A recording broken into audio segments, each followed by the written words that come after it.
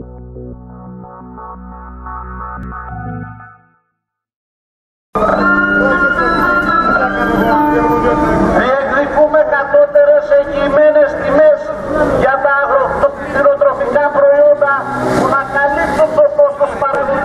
Βρεθήκαμε σήμερα εδώ μετά την πρωτοβουλία της Ομοσπονδίας Αγροτικών Συλλόγων και των Συλλόγων της περιοχής με κύριο αίτημα και ζήτημα αιχμής αυτή τη στιγμή τη φορολόγηση των αγροτών μέσα από το φορολογικό νομοσχέδιο όπως διαμορφώθηκε με την τήρηση βιβλίων σχεδόν στους 98% τους αγρότες γιατί όσοι δεν έχουν εισόδημα 10.000 ευρώ πιθανόν να έχουν επιδοτήσεις 5.000 ευρώ.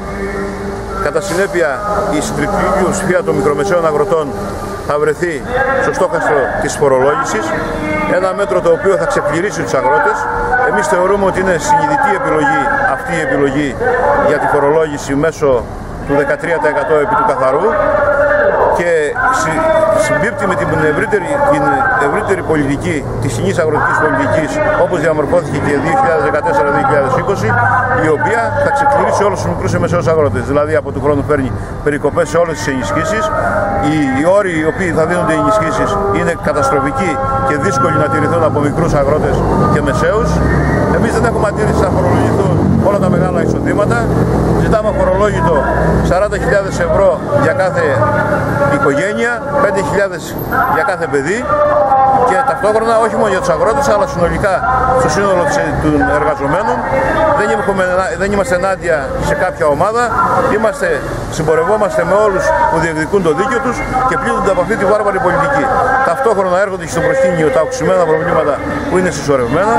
Είναι η, η τιμή του πετρελαίου συνολικά και το κόστος παραγωγής, οι αυξήσεις εν μέσω κρίσης φαρμάκων, λιπασμάτων και σπόρων που καθιστά αδύνατη την καλλιέργεια των χωραφιών μας. Η ιδιωτικοποίηση του Δοδόνης έφερε άμεσα αποτελέσματα, άμεση μείωση 10% στην τιμή του γάλακτος ακόμα περαιτέρω. Ταυτόχρονα το απλήρωτο γάλα επί πολλούς, πολλούς μήνες έχει φέρει σε απόγνωση όλους τους αγροτοπνοτρόφους της περιοχής μας και νομίζουμε ότι αυτή η πολιτική έχει δύο επιλογές. Ή θα συμβιβαστούμε και θα φύγουμε από τα χωράφια μας όλοι μαζί παρασύροντας και μεγάλους κλάδους του χώρου στην καταστροφή αυτή, γιατί πίσω από εμά βρίσκονται γεωπόνοι, βρίσκονται μαγαζιά, βρίσκονται επιχειρήσεις, βρίσκονται βιοτεχνίες που δουλεύουν, παράγουμε πρώτες ύλες, οι οποίες χρησιμοποιεί η βιομηχανία και ο άλλος δρόμος είναι η ανατροπή αυτής της πολιτικής, να φτιάξουμε ένα μέτωπο το οποίο θα ανατρέψει συνολικά αυτή την πολιτική που πλήττει, ξαναλέω, και αγρότες αλλά και εργαζόμενους.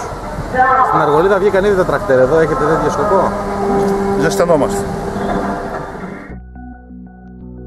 Thank you.